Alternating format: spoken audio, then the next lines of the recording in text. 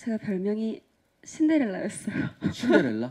네. 왜요? 촬영장에서 네. 그러니까 저는 모르고 있었는데 스태프분들이 그렇게 부르셨다고. 어, 어. 그래서 제가 12시만 되면 너무 졸린 게 보인 거예요. 아, 힘들어하니까. 네, 실제로 아침형 인간이기도 한데 예. 체력적으로 너무 힘드니까 계속 꾸벅꾸벅 졸다가 음. 조금 미안한 상황이 생기기도 했고요. 음. 네, 그랬던 것 같습니다. 그렇군요. 이게 두 오빠 선배님들께서 또 많이 케어를 해주셨겠네요 현장에서. 네, 아무래도 약혼자 역할 많이 이제 붙었으니까 네.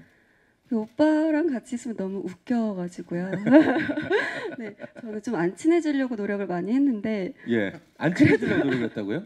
네, 왜냐면 왜요? 저는 조금 되게 좀 정서적으로 불안한 상태고, 음, 캐릭터가. 어, 예, 좀 어, 어. 어, 떤 면으로 보시기에는 광기 어린 모습도 보실 수밖에 없기 때문에 예 예 예. 좀 그 감정선을 유지해야 되는데 어.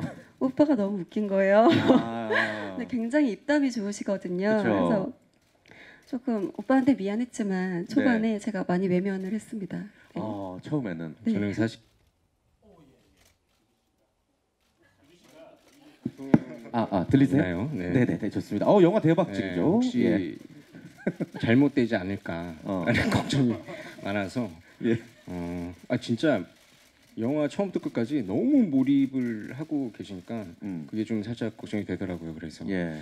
어, 물론 음, 몰입하는 것도 굉장히 중요하지만 본인이 남규리라는 사실 음. 그리고 굉장히 남성 팬들이 혹시라도 남규리 씨가 잘못되면 예. 안 되지 않습니까? 아, 그래서 그런 지켜 거를 좀 주셨군요. 많이 걱정해서 네. 잠깐 쉬는 시간에는 예. 좀 여담이나 사담을 많이 풀었습니다. 제가. 음, 그렇군요. 예.